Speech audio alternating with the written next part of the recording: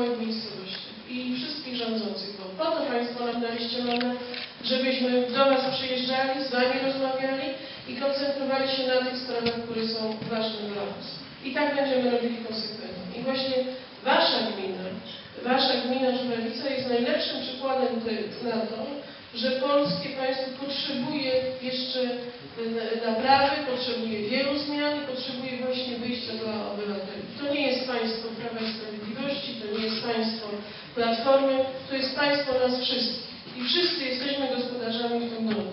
I jeżeli do tej pory rządziła ekipa, która nie dostrzegała tej części społeczeństwa, które nie było związane z jej elitami, to było źle. I Polacy jej powiedzieli dosyć. Jak pan marszałek Kuczyński mówi, ziemia przemyska Podkarpacie leży na starym tysiącletnim dukcie kijowskim między Krakowem a Kijowem, a dalej na wschód i dalej na wschód.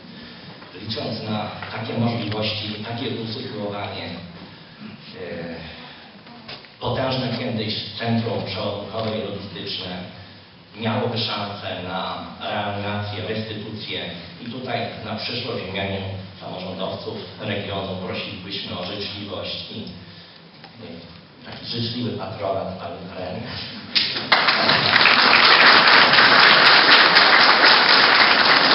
Byłoby to przy realizacji drugie płuco praktycznie dla rozwoju Podkarpacia.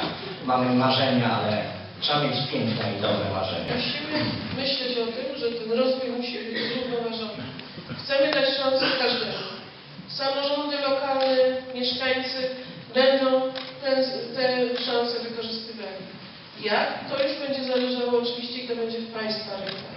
Ale obowiązkiem państwa rządzących jest stworzenie szans jednakowych i takich samych dla wszystkich, po to, żeby można było później realizować te poszczególne elementy programu już w regionie.